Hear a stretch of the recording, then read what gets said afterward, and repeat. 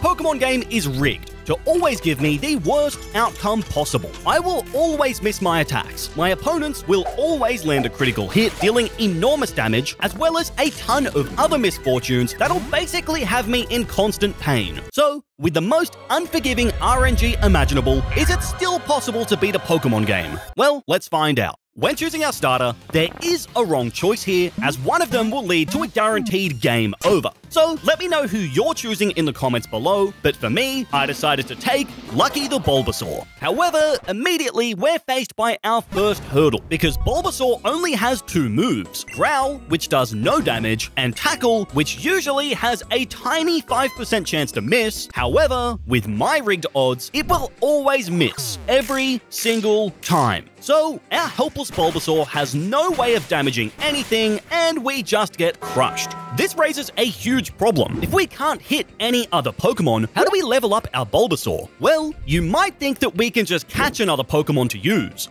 Nope. With basic Pokeballs, even a low HP Pokemon will never have a true 100% catch rate. In fact, the odds will cap out at 99.94%. And you might be thinking, who would possibly fail these odds? That's right, this guy.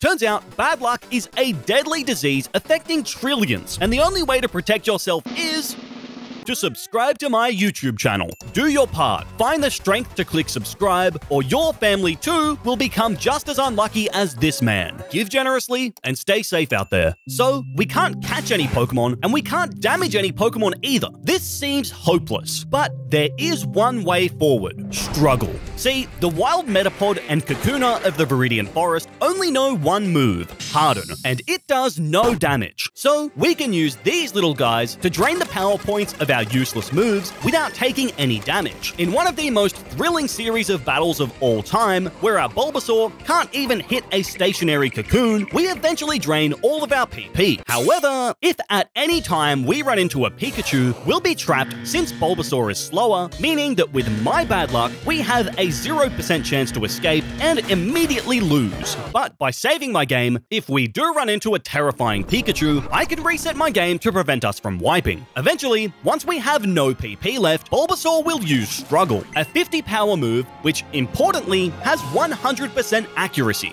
This lets us wail on the defenseless Kakuna, basically using our Bulbasaur as a struggling melee weapon. And while Struggle does deal recoil damage to Bulbasaur, in Gen 3 games, this is set to 25% of the damage we deal, rather than 25% of our total health like in later generations. This is key, as it means that we can outpace Kakuna, and with that, we had finally beaten our first Pokemon. And by repeating this process over and over again, we finally level up, reaching level 7, where Bulbasaur learns Leech Seed, another inaccurate move that we will never be able to use. However, at level 10, it gets Vine Whip, an accurate grass move that we can actually use. And this is our key to progressing through the Viridian Forest, where we encounter our first trainer battle. Our Bulbasaur may be a higher level, but since our opponents will always land a critical hit, while we are guaranteed to get the lowest damage rolls possible, we still can't even beat a pathetic Weedle with our Vine Whips. Thankfully though, Struggle does considerably more damage, allowing us to overcome our first real battle. After running the pockets of our first victim, we're clear to push onwards to Pewter City, where our first gym badge awaits. And you might be wondering why I don't just grind up Bulbasaur to an absurdly high level and sweep the game with Vine Whip. That's because I'm a sucker for pain. On top of the terrible rigged odds in this challenge, I'm also capped to the level of the next gym's ace. In addition, I can't use any items from the bag in battle, and I'm playing on set mode just to make this whole experience even more painful. With these rules in mind, it was time to tackle the first gym. And if you subscribe to the Charmander philosophy, sadly, this is where your run ends, because Metal Claw will never actually land, and your other moves have no hope of yielding a win. On the other hand, us Bulbasaur enjoyers are eating good here. Brock has a severe allergy to touching grass, so Bulbasaur can absolutely shred through his team with a string of quad-effective Vine Whips. With Brock's Onix left in pieces, we had gotten our first badge. And while that battle was straightforward, it's still a serious problem that we only have Bulbasaur. As proof of this, the first trainer on the very next route has three bug types that we need to deal with. Our pathetic, ineffective Vine Whips are not enough to get us through this fight, and once again, we are drowning in a sea of L's.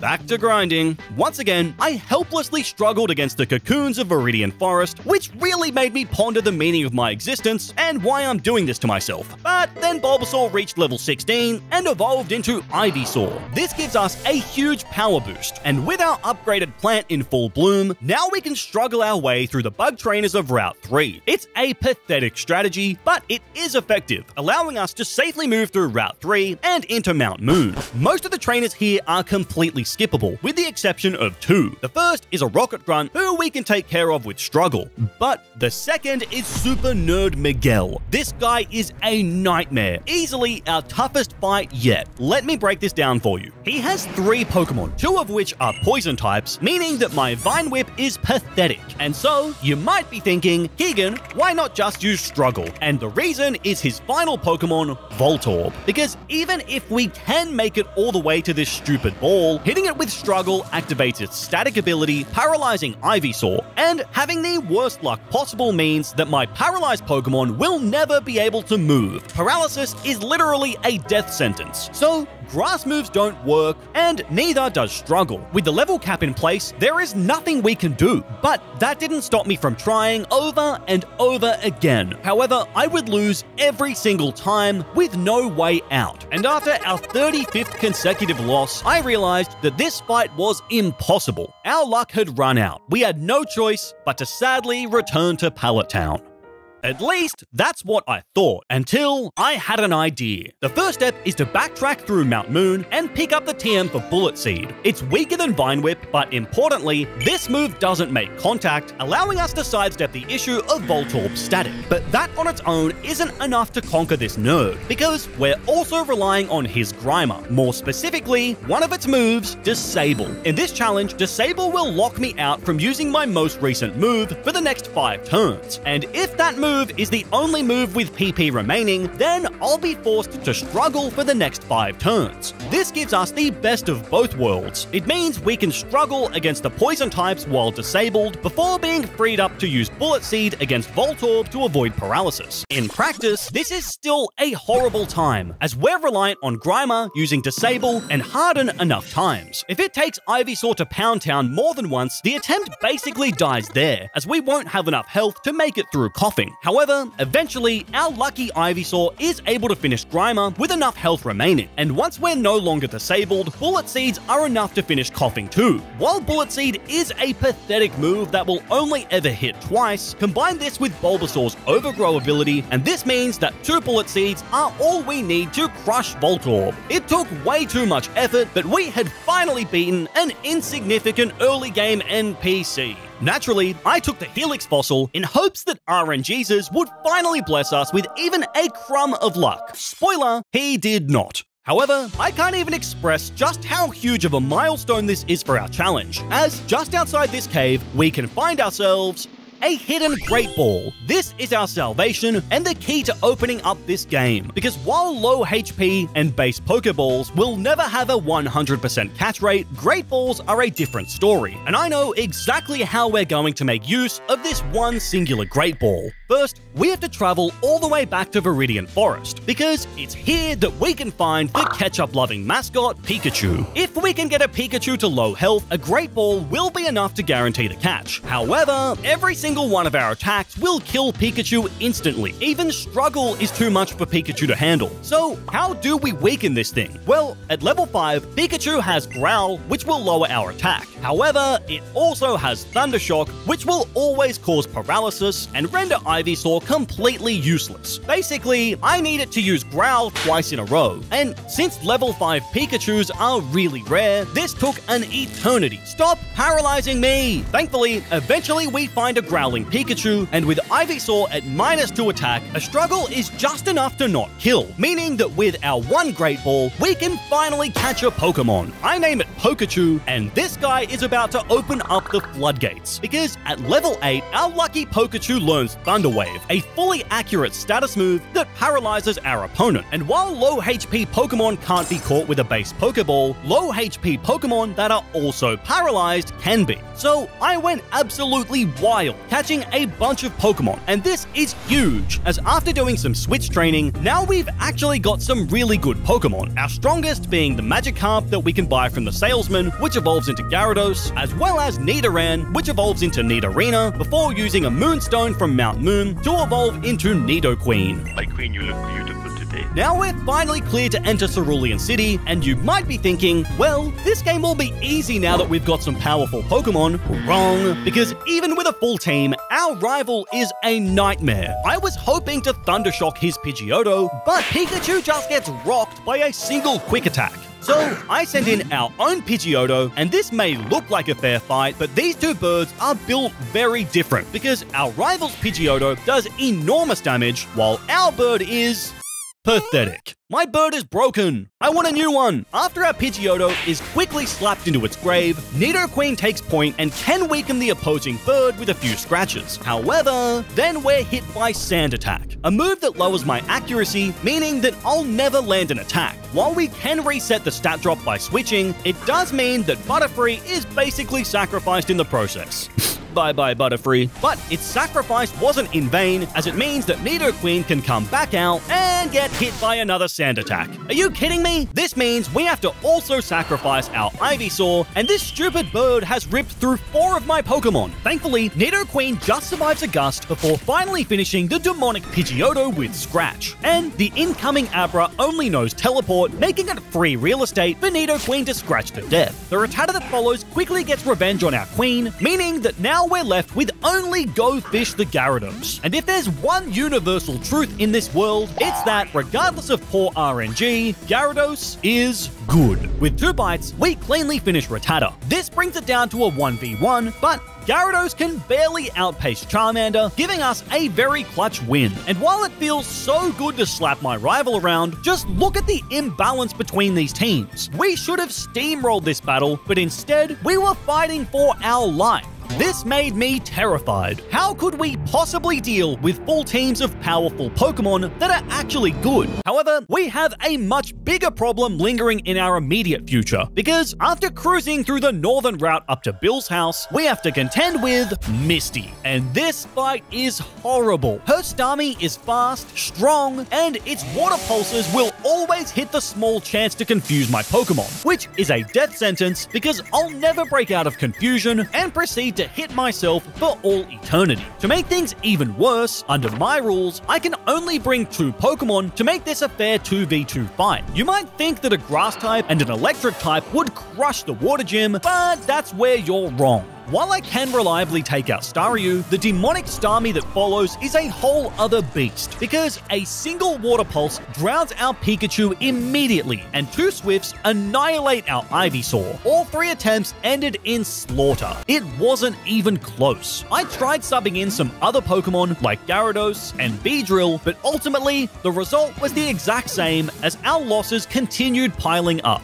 But then I remembered something. See, back on Route 4, I picked up a Persim Berry, a single-use berry that, when held by a Pokemon, will cure confusion. And this changes everything. With a new plan, I marched into Misty's gym, ready for revenge. This time, I lead with Ivysaur as a Vine Whip brings Staryu into the red. This forces Misty to burn her Super Potion before two more Vine Whips finish off her first Pokemon. Misty's main star then takes center stage. Since I'm a Grass type, Misty doesn't use Water Pulse, instead opting for Swift that puts me at low HP. However, this is perfect, as now my Overgrow ability activates, supercharging my next Grass attack as Vine Whip does big damage. But Ivysaur falls on the following turn, bringing it down to a 1v1. Starmie versus Beedrill. Starmie outspeeds, firing off a deadly Water Pulse, and Beedrill just survives. Despite being confused, our Persim Berry cures this immediately, clearing our Beedrill to land a super effective Twin Needle, finishing off the deadly Starfish once and for all.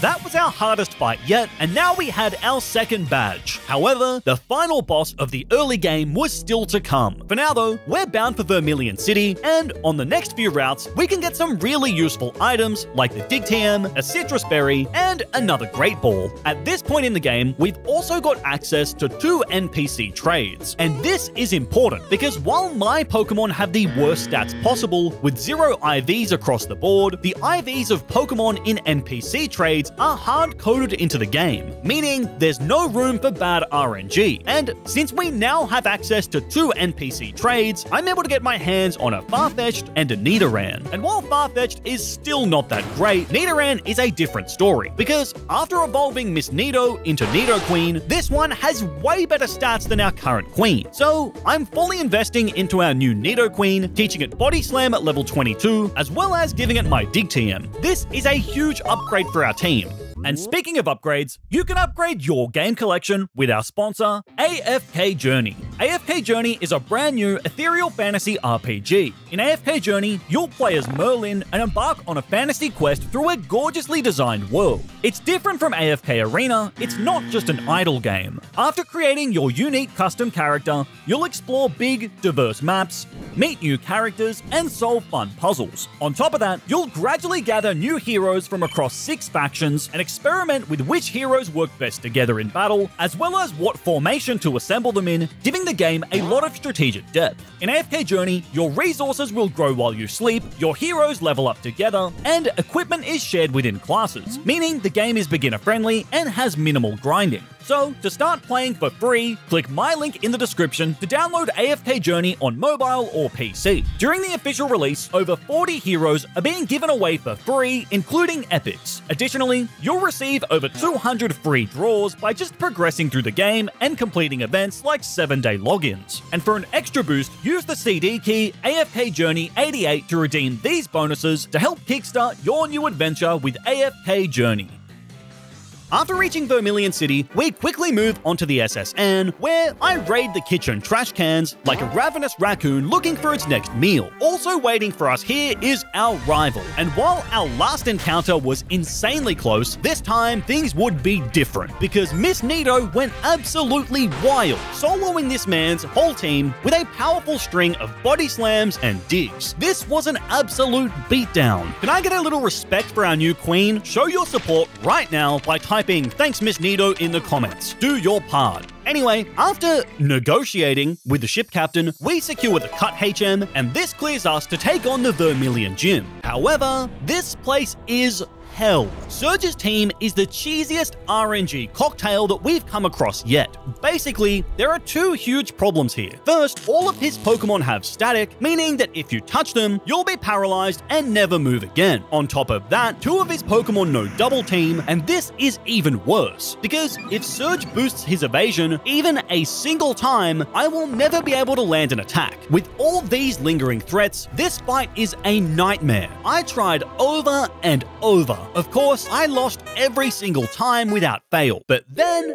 I had an idea. See, a Pokemon can only have one status effect at a time, meaning that if my Pokemon are already poisoned, they can't also be paralyzed. So I pre-poison my Pokemon in battles against wild Pokemon, which also has the added effect of boosting Raticate's attack thanks to its Guts ability. With the problem of paralysis now dealt with, I faced up to Surge, ready to establish our dominance. Immediately, this plan pays dividends dividends as a single secret power from Raticate brings Voltorb into the red. This forces Surge to burn his potion before our rat quickly finishes the job. Next up is his Pikachu, but we outspeed and immediately take it down with one shot. Now it's down to a 3v1. We just need to pray that Raichu doesn't use...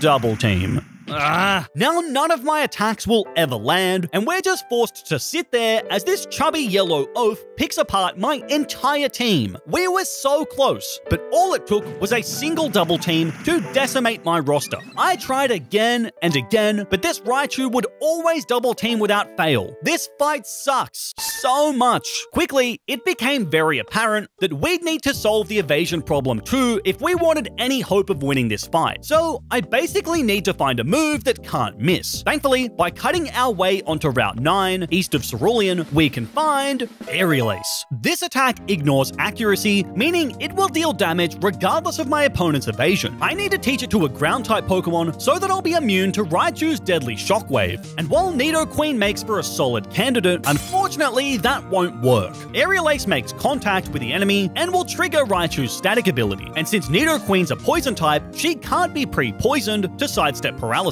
So, instead, I hunt for a Sandshrew, as this little guy can learn Aerial Ace. While we can't paralyze it with Thunder Wave, we can guarantee the catch with a Great Ball at low HP. I bestow it the name Surge Protector, and once our new team member reaches level 22, it evolves into a spiky Sandslash. Now, our improved team is ready for Surge. So, after pre-poisoning my Pokemon again, we return to the gym in search of vengeance. Just like last time, Raticate can drain Surge's potion before quickly finishing both Voltorb and Pikachu with secret power. Once again, Surge was down to only his Raichu. This time, I have Raticate land a quick attack for some important chip damage before falling. Our Pidgeotto in the back does the exact same thing before immediately being taken down. Now we're down to only our Sandslash in a tense 1v1. As is tradition, Raichu uses Double Team, which is exactly what I was hoping for. Aerial Ace still connects despite barely doing any damage. Another one on the next turn has Raichu on the brink of death. And after we barely survive one more quick attack, one last Aerial Ace finishes Raichu, and we have finally conquered Lieutenant Surge. Our rigged RNG made that fight insanely tough, but now we have our third badge. This is a significant point of the challenge too, as now the map really opens up, and our first stop is the Rock Tunnel, where most of the battles are relatively straightforward, at least until I had the misfortune of stepping into the dreaded realm of Hiker Dudley. This man is a pest. His stupid pet rocks will always roll magnitude 10 critical hits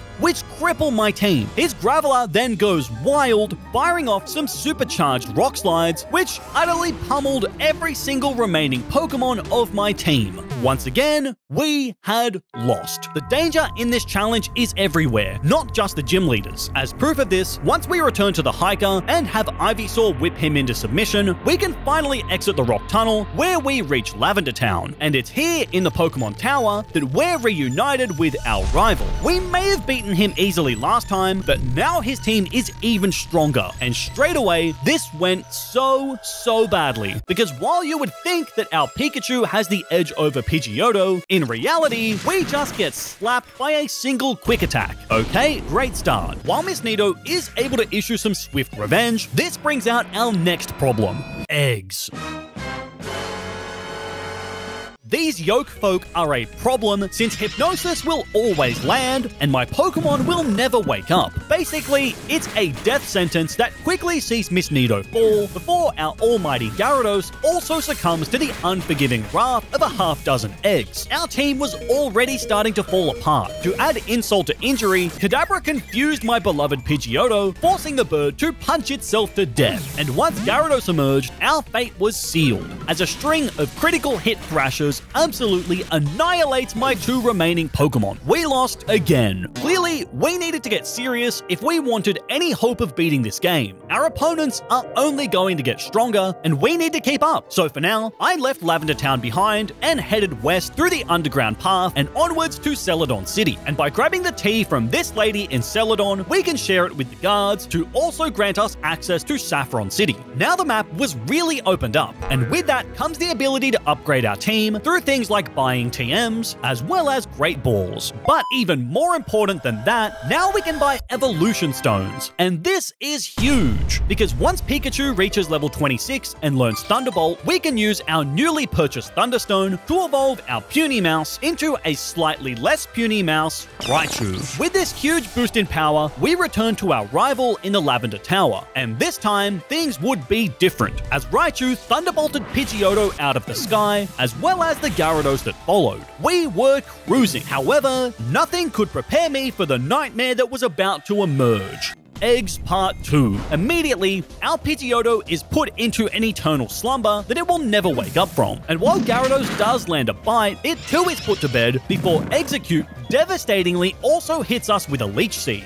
This means it can recover back all of the damage that we actually did manage to deal. This is the Egg's world, and we're just living in it, because this demon then proceeded to slaughter not one, not two, but three more of my Pokemon with its stupid sleep and confusion RNG cheese. I hate this thing with a burning passion. Despite Raichu finally finishing off Exeggcute, we were far too deep in the hole now, as Kadabra quickly finished off our final Pokemon. This challenge is absolutely destroying my mind, but I'm not ready to give up yet, so I stepped up to face our rival again. On this attempt, Raichu quickly KOs our rival's first two Pokemon. However, this time, once the eggs emerge, I just land a Thunderbolt, sacrificing Raichu in the process. And at this range, a super effective bite from Miss Nido scrambles those eggs into their Yoki grave. From here, the rest of the fight is straightforward, with Pidgeotto quick attacking its way through Kadabra before one last dig from Miss Nido buries Charmeleon. We have finally gotten through that hellish fight, and I hope that I never see those cursed eggs ever again.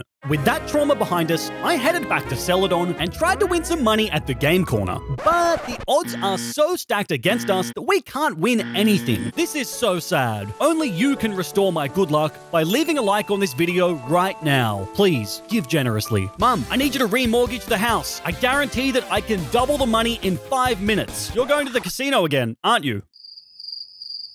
Maybe.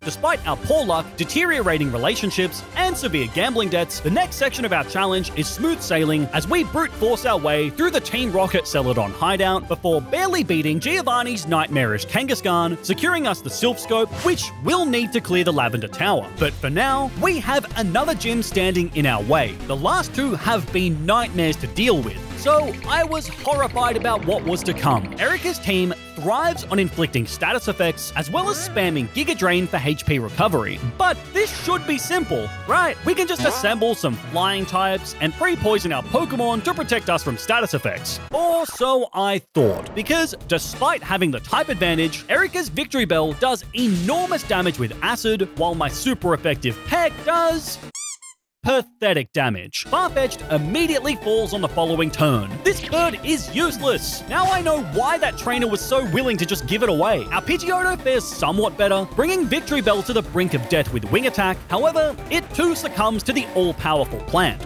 Basically, this is what is happening to me right now. So, it was all down to our guts Raticate, and thankfully, with a second secret power, we can finally finish Victreebel. But Erika follows up with a menacing, tangled ball of spaghetti that Raticate stands no chance against. Giga Drains quickly sap our HP dry, and yep, once again, we suck. I am so tired of losing to these gym leaders. Clearly, I needed a new approach to conquer this gym, and I had just the idea. So, I headed over to Route 7, and it's here that we can find Vulpix. After quickly catching the cute fox, I name it Arsonist because Vulpix is about to start some fires in Celadon City. As once our Vulpix reaches level 29, it learns Flamethrower, a fully accurate, insanely powerful fire-type move. But we're not done yet, because by gently using a Firestone on our Vulpix, it evolves into an adorable-looking Ninetales. And this is our key to victory in the next gym. The combination of Ninetales' impressive special attack stat, married with its powerful flamethrower gives us a grass-type scorching specialist. Um, just curious, but do your fire extinguishers work? Uh, I don't think so. Perfect. This time, Erika's Victory Bell is burned alive in a sea of flames as a single flamethrower takes it down, and the Tangela that follows is also quickly burned to a crisp in one shot. This leaves Erica with only her Vileplume, who surprisingly does survive a flamethrower before crippling Ninetales with Stun Spore. However, we can safely switch into Pidgeotto, who finishes the fight with one last wing attack. That's our fourth badge, and it feels like we've really come a long way from being crushed by Misty and Surge to now conquering Erika on just our second try. We had some real momentum, and this was set to continue as we quickly ascended the Lavender Tower, using our Silph Scope to exercise the demon Marowak lurking beneath the summit. I just wish we could also exercise my gambling demons and bad luck too. After reaching Mr. Fuji at the top of Lavender Tower, we're given the Poke Flute, and this is our key to removing the big Snorlax roadblock standing in our way, and I desperately want to catch this big beefy boy, since Snorlax is such an amazing Pokemon. However, that's not possible, because even at 1 HP and asleep, Snorlax will never be a guaranteed catch, even with an Ultra Ball. So, sadly, we have no choice but to KO the Snorlax and let go of our hopes of ever owning one. Despite the disappointment, our consolation prize is using the item finder to dig up a leftovers from underneath Snorlax's corpse. With the gluttonous roadblock forcibly removed, now we're clear to move south down the bike path and into Fuchsia City. This city is home to one of the worst places in the entire game the Safari Zone. This place is a scam. For $500, I get to throw Safari Balls that will never work, pick up a Quick Claw, which will never activate, and grab a Double Team TM that's about as useful as a Charmander in Brock's gym. I hate this place. Did you catch your fair share? I want my money back. Despite being scammed, we can get some amazing items here, like the HMs for Surf and Strength, two powerful, fully accurate moves. On top of that, it's here that we can also get the Good Rod, and you might be thinking, Keegan, who cares about a stupid fishing rod? But this rod is a godsend because this is our ticket to fishing up one of the best Pokemon possible for this challenge Krabby.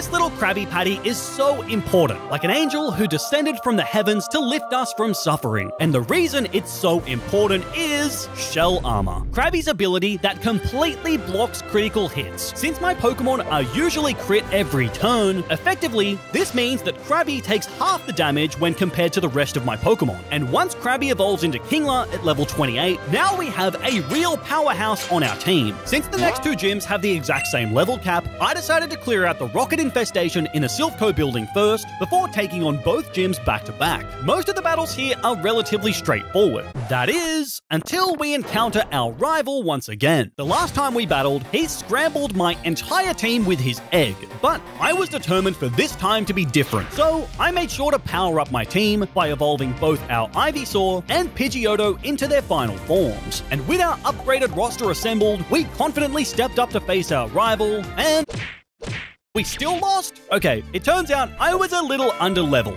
but that's not a mistake I'm making again. On the second attempt, I open with our Pokachu as a quick attack from Pidgeot immediately does a huge chunk of damage. However, our Thunderbolt hits the Pigeon harder, bringing it to the brink of death as a quick attack of our own on the next turn finishes the job. Our rival sends in Gyarados next, which has to be one of the tiniest brain, most negative IQ plays I've ever witnessed, as a quad effective Thunderbolt instantly fries its brain into jelly. But then, the dreaded eggs emerge in all their yolky fury. I switch into Nidoqueen, and in a classic egg move, the eggs paralyze Miss Nido, allowing them to quickly claim the kill. However, I won't let Exeggcute haunt me anymore, because this time I came prepared. This time, I brought my trusty flamethrower. In just a single shot, our Arson Fox fries those eggs into their grave. And once Ninetales also takes care of Alakazam, our rival was down to only his newly evolved Charizard. And I was feeling great. I mean, we still have five Pokemon left. However, Charizard is no easy foe, because this wannabe dragon proceeded to destroy my Ninetales. And while Raichu can bring it to low health with a Thunderbolt, our Pokachu also falls in the process. Kingler puts up very little resistance before Venusaur is quickly burnt to a crisp by Flamethrower. What started as a comfortable 5v1 has quickly deteriorated into a deadly 1v1. But with Charizard at such low health, thankfully, a single quick attack from Pidgeot can just finish off Charizard.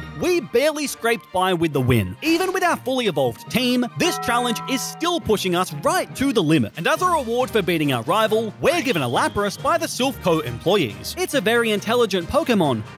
Uh, are you sure about that? And while I didn't realize it at the time, this Lapras is going to be a game changer. Because, just like Kingler, our Lapras has the Shell Armor ability, which is incredible for this challenge. At the top of the Silph building, we have to take on Giovanni, and despite his Nidoqueen giving us some trouble, ultimately, this is a clean fight, and we pick up the win on our very first attempt. Thank you for saving us. Because I am rich, I can give you anything. Okay, can you give me some good RNG? Anything except that. Oh, after taking our consolation prize of a Master Ball, now it was time to take on the next two gyms back to back, and both of these are difficult for very different reasons. First up is Koga, and his team is packed to the brim with toxicity. He's got Pokemon that can blow up, smokescreen, and minimize for cheesy evasion strats, as well as a Muk that has one of the filthiest, most disgusting movesets I've seen in this entire challenge. Earlier in the run, this team would have been impossible to defeat, but now I have just the plan in mind. With my big, unlucky brain firing on all cylinders, I assembled my team and charged into Koga's gym, ready for a fight. Against his Koffing, I lead with Nidoqueen. Since Miss Nido is a poison type, we can't be poisoned. I was hoping that this would bait Koga into exploding, while I hide underground with Dig, but he just opts for Sludge, so instead, Nidoqueen just spams Surf until the first Koffing falls. And this is where the cheesiest pile of Sludge, Muk, emerges. Straight away, this coward uses Minimize. In the past, we've really struggled to deal with Pokemon boosting their evasion, but now I have a new plan, because our new Lapras knows the move Perish Song, and this will always land regardless of accuracy. When it does, all the Pokemon on the field faint in three turns. This forces Koga to switch out before the three turns expire, causing Muk to lose its stat boosts. With this strategy, the second Koffing falls just as easy as the first. Then, another Perish Song onto the returning Muk forces the switch into Weezing, who is more of a threat than the Koffing, but Miss Nido still gets the job done with a barrage of surfs. This leaves Koga with only his Muk, and our win is all but guaranteed as one final dig from Miss Nido buries the toxic pile of sludge six feet under. That's our fifth badge secured, and that win feels so good. Koga's team would have been an absolute run ender earlier in the challenge, but now we've got the tools and knowledge to overcome the hurdles that haunted us previously. And speaking of being haunted, next up is Sabrina. Where Koga likes to cheese you with poison and evasion stall, Sabrina is much more focused on inflicting confusion and overpowering you with the raw damage output of Alakazam. However, we have some powerful Pokemon too, so I assembled my best roster and stepped up for a showdown with Sabrina. Psychic types are generally pretty frail. This, combined with a pre-poisoned Raticate to activate its Guts ability, means that a single secret power is enough to wipe Kadabra off the map. This brings in Ash Ketchum's stepdad, and a secret power just falls short of getting the KO this time. But this works out perfectly as Sabrina burns through both of her hyper potions by keeping Mr. Mime on life support as she desperately tries to stop him from fainting. Despite Sabrina's best efforts, once she runs out of potions, Mr. Mime eventually falls. Against the incoming Venomoth, I switch into Beedrill, whose job here is basically just to die.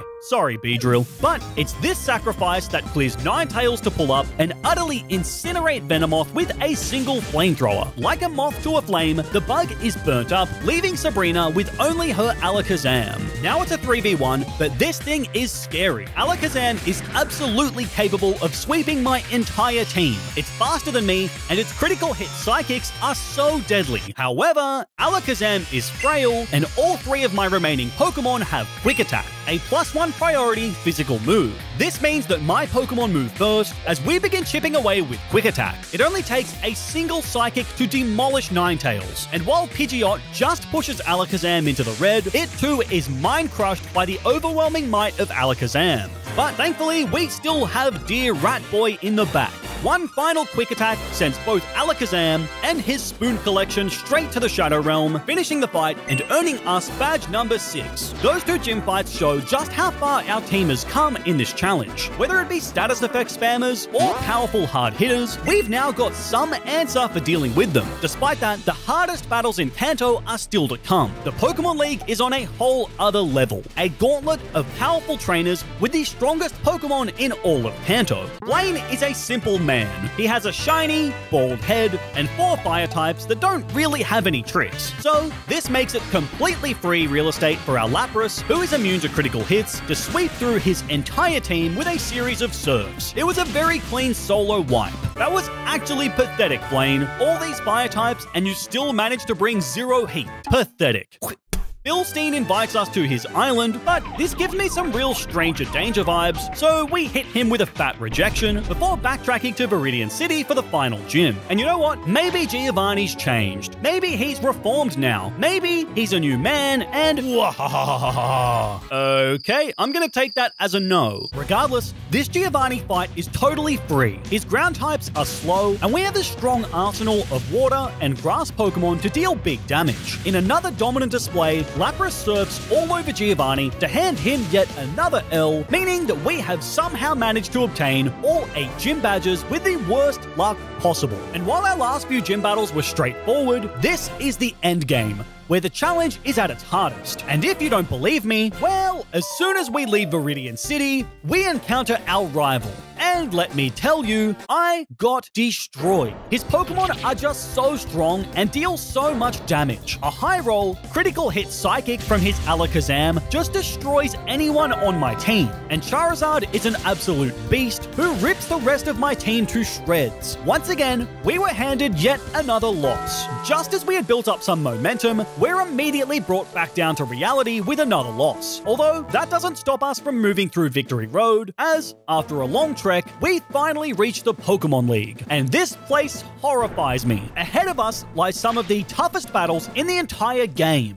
Lorelei will freeze you, Agatha will double team cheese you, Lance will crit his hyper beams, the champion will simply overpower you, and Bruno will be there too. Against these heavy hitters, with the worst RNG imaginable on my side, this felt like such an impossible hurdle. But I had to try. So, armed with my trusted team of Pokemon, I stepped into the Pokemon League, and it was a bloodbath my Pokemon got decimated. While I could scratch and claw my way through the first two fights, Agatha was just too tough. The rigged chaos of sleep, confusion, and double team was just way too much for my team to handle, and very quickly, we were utterly annihilated in three straight losses. We were battered, bruised, and down bad. Despite my best efforts, it was clear that my current team just wasn't going to cut it. So, I had one option. I needed to build a new team consisting of the best, the fastest, and the strongest Pokemon I could find. It was time to assemble